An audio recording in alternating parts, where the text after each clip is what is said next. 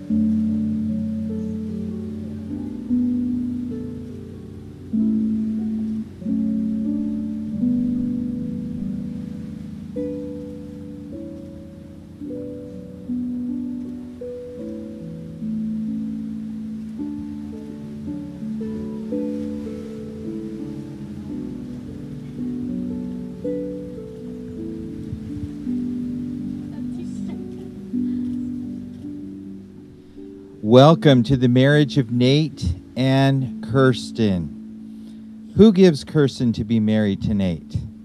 mother and I, her father. Thank you. Thank you.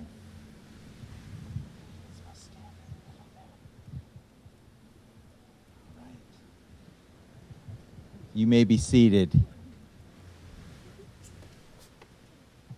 You face me for a little while. I told them they could face me, and they said they didn't want to. Um, Nate and Kirstan are so honored that you, their family, and friends are here for their celebration today. Kirstan and Nate desire to enter into the covenant of marriage before God. The two of you have chosen to be married in a sacred ceremony that was created not by man, but by God Himself. At the very beginning of time, God designed man and woman to come together in marriage. Right after God created them in the second chapter of Genesis, Adam declares, This is now bone of my bone, flesh of my flesh. She, she, she shall be called woman, because she was taken out of man. For this reason, a man shall leave his father and mother and be joined to his wife, and they shall become one flesh. It is very significant that Eve came from Adam's side. For the rest of their lives, there she would be at his side. Can you imagine Adam seeing Eve for the first time? That's why he said, Whoa, man. Just like you were thinking when you saw her down coming down the aisle. This relationship was for them, but it was also to be an example of intimacy Jesus wants with each of us. He describes himself as the bridegroom and his followers as the bride. The hope we have as believers in Jesus Christ as our Lord and Savior is the wedding feast when we are joined with Christ for eternity. Our earthly marriages are a foretaste of that glorious day we are waiting for. You know what waiting is all about, right, Nate? We were waiting. But you made her wait for long, and we can't wait for that day when the Lord comes. What a day that'll be. The desire that you have to be married is what God intended. His plan for you two is to become one and walk together as a team. What a great thing that the Lord has brought you two together. God desires to be in a relationship with us as individuals. He created us to walk with Him.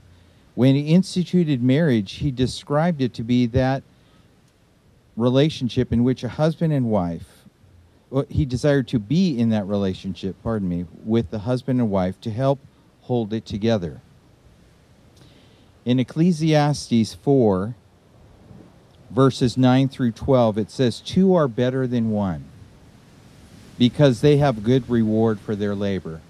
Boy, I could see that in your lives, what that's going to be. As soon as you're married, you'll be going on a mission trip together as husband and wife. For if they fall, one will lift up his companion. But woe to him who is alone when he falls, for he has no one to help him up. Again, if two lay down together, they will keep warm. But how can one be a warm alone? Though one may be overpowered by another, two can withstand him, and a threefold cord is not quickly broken.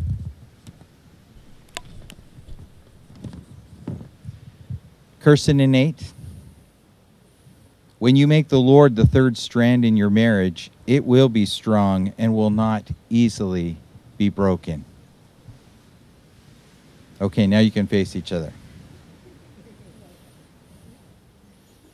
Nate, do you take Kirstan to be your wife to live together in the holy covenant of marriage?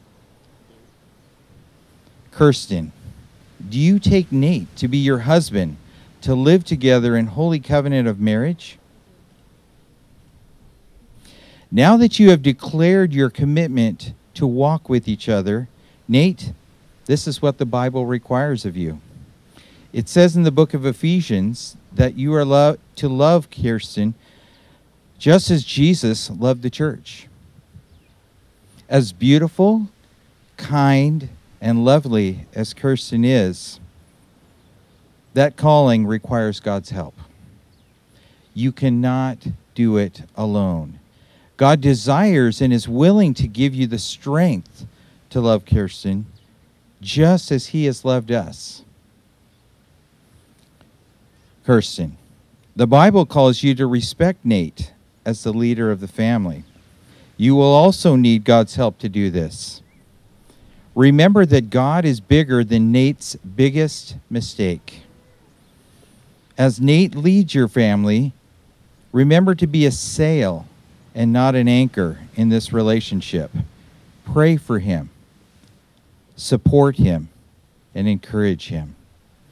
Remember, this love does not preserve marriage, marriage preserves love. The commitment carries us through times when feelings may wane. Wise people have said what got them through decades of rewarding marriage was a commitment to the commitment. Denying oneself, desiring the best for the other is key. You are called by God to love the other more than yourself because you are one. I believe that's something that's lost in our society now. We're seeing a whole society wanting to love themselves and no longer trying to love the other person more than themselves. True joy is what it stands for, that acronym, joy. Jesus first, others second, you last. That's joy. You seal this commitment to each other with a vow. A vow is the strongest commitment we can make before God or man. They are not entered into lightly. Nate and Kirstan have written their vows. Are you ready to make your vows with each other? Yes? Okay. Nate, face Kirstan and share your vow.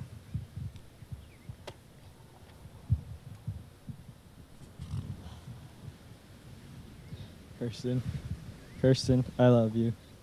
And you know I'm not well with writing these, so I'll keep it short. But sorry. Kirstan, you are so beautiful. I love you. You are kind, you are patient, you are humble. You always encourage me to seek God first. So from this day on, I vow to seek God first in, the, in everything we do. I vow to love you and serve you as Christ served the church, sacrificially, tenderly, patiently, and humbly. Now I know this won't be easy to do, and I might fail sometimes. So I vow to look to God and the Holy Spirit for strength to do these. And uh, I just pray that as we both look to God for our strength, that they would overflow in my life and into yours as we come together as one. Nicely done. Kirstan, are you ready to share your vow with me? I cannot cry. Okay, hold on.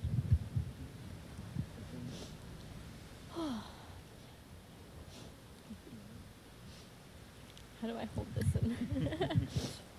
Is that okay? Yes. Nathaniel, you are my best friend. And even more beautiful is that you are the love of my life. I have dreamed of this day with you to become one. I'm gonna cry. As we move forward into our unity, I vow devote I vow to devote myself to the Lord so I can follow his lead and know his love so that I can love you as he has loved us. I vow to read the way of love in 1 Corinthians 13 and to set my heart on loving you in this way. I'll read it. it says love is patient and kind. Love does not envy or boast. Love is not arrogant or rude. Love does not insist on its own way. Love is not irritable or resentful. Love does not rejoice at wrongdoing, but it rejoices in the truth. Love bears all things. Love hopes all things. Love endures all things. And love never ends.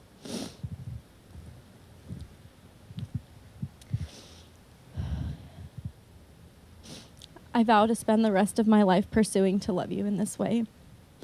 I pray my love for you would be an outpouring and overflow of the love I have received in Christ, just as you said too. I pray we would ju- we would set our minds on things above where Christ is seated and not on things of the earth. In all that we do, may we work heartily as for the Lord. I pray our marriage would be a glimpse and foreshadowing of our marriage to Christ to come. Oh no. oh no. Thanks.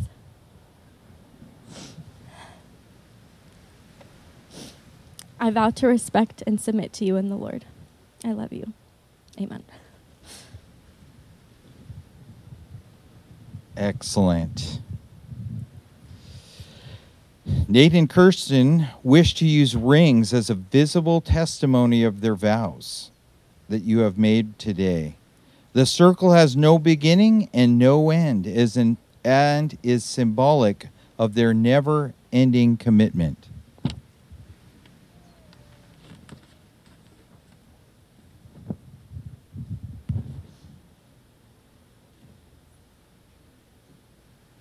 Uh oh.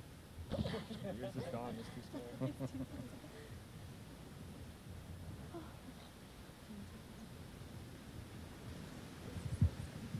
Okay, Nate, you're going to put this on her ring finger and you're going to say, Kirstan, with this ring, Kirstan, with this ring, I seal my vow of love and devotion to you. seal my vows and my devotion to you.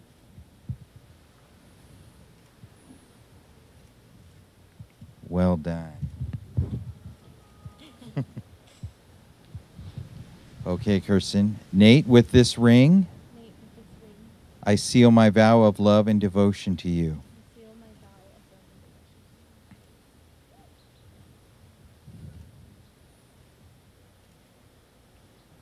Excellent. Nate and Kirstan wanted their first act as a couple after they've sealed their vows with rings to remember their Savior Jesus Christ in communion. They remember their selfless act of Jesus Christ, who humbled himself.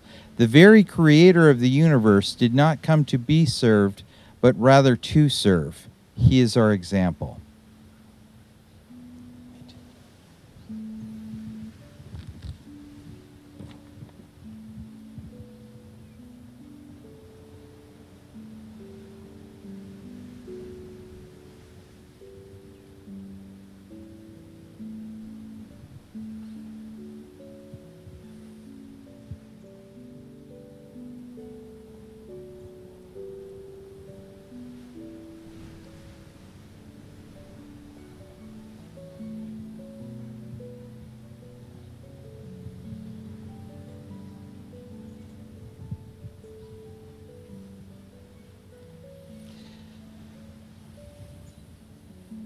With this act of remembrance, they have committed to serve one another in marriage rather than to be served.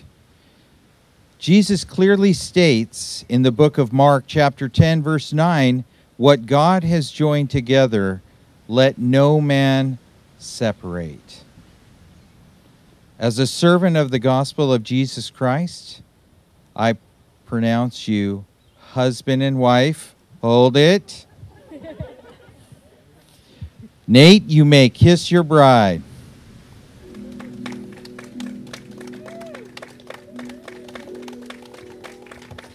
It is my great privilege to introduce you for the very first time, Mr. and Mrs. Nate Yadow.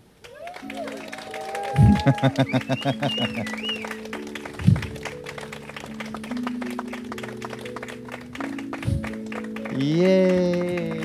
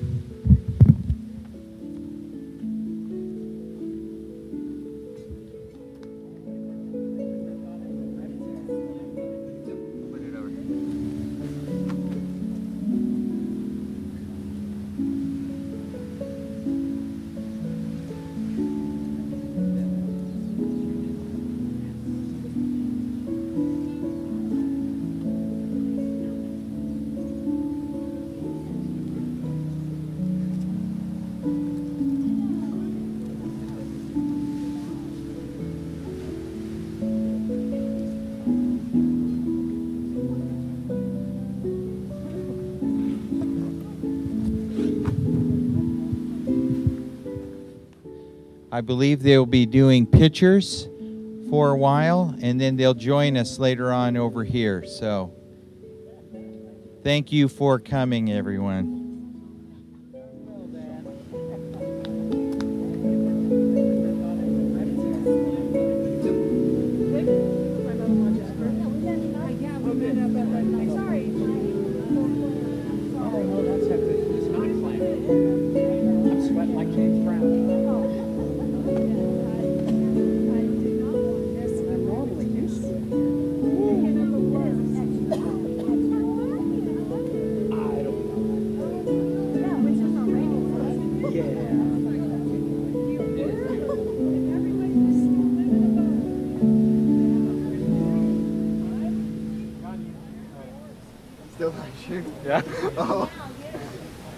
Thanks for watching. Um, like, comment, subscribe, and um, congrats to Nate and Kirstan.